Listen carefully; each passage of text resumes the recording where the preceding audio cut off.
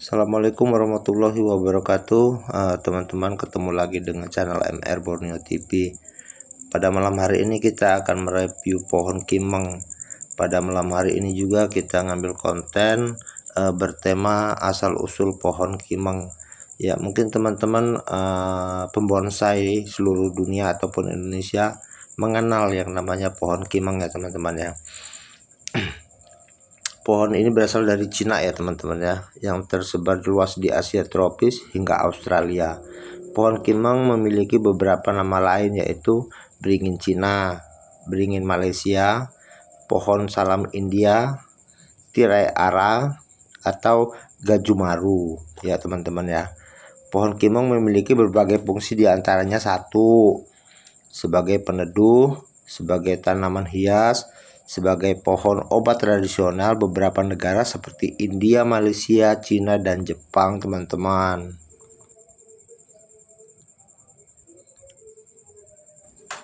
Ya, pohon kimeng dapat diperbanyak dengan cara beberapa macam ya teman-teman, yaitu dengan menanam bijinya juga bisa. Atau dengan cara vegetatif, yaitu dengan mencangkok, menempelkan stek batang, atau menempelkan stek pucuk. Bonsai kimang merupakan jenis bonsai beringin yang populer ya teman-teman ya. Bonsai kimang memiliki bentuk tubuh yang unik, menarik, serta dikenal memiliki ketahanan hidup yang lama.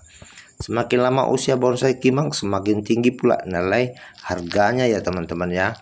Contoh punya kita ini ya teman-teman.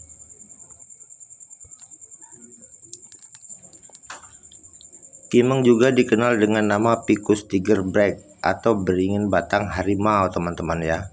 Penanaman ini mengacu pada corak batang kimang yang lebih nyata dibandingkan beringin lokal seperti Picus benjamina. Batang pohon kimang memiliki corak totol-totol putih ya ini lihat teman-teman ya di pohon kimang kita ini.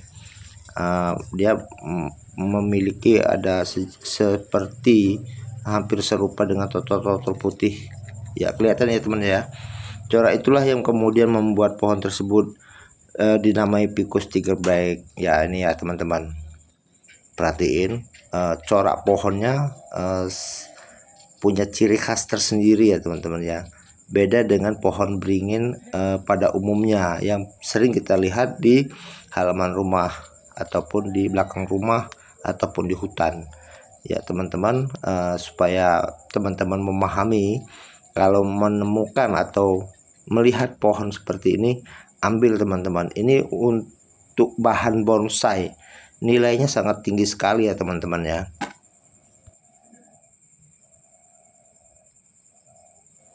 Ya buat teman-teman semuanya uh, bila menemu atau mendapatkan bibit kimeng seperti ini cepat diproses ya teman-teman ya. Uh, sistem penanamannya sangat gampang sekali ya teman-teman. Kita cukup ground ataupun kita langsung tanam di lokasi juga bisa.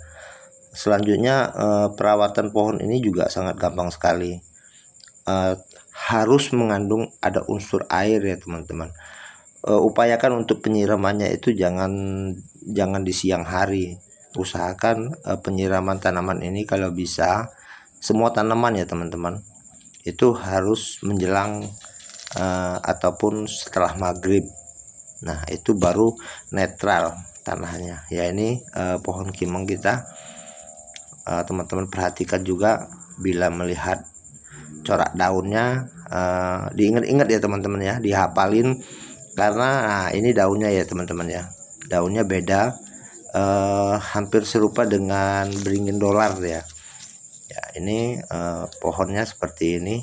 Lalu uh, pembentukan akar yang harus kita perhatikan ya teman-teman.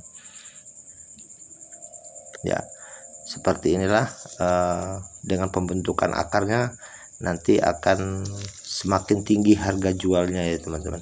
Ayo teman-teman dari sekarang kita belajar menanam pohon yang bermanfaat ke depannya dan mempunyai nilai uh, tinggi ya teman-teman. Jadi di saat kita membutuhkan uang kita jual pohon yang ada di halaman rumah kita aja sudah membantu perekonomian kita teman-teman. Nah ini ya teman-teman perhatiin punya kita sudah membentuk ya teman-teman ya. Ya inilah pohon kimeng. Coraknya seperti ada totol-totol putihnya. Ya teman-teman terima kasih wabillahi taufiq wal hidayah. Assalamualaikum warahmatullahi wabarakatuh. Sekian dan terima kasih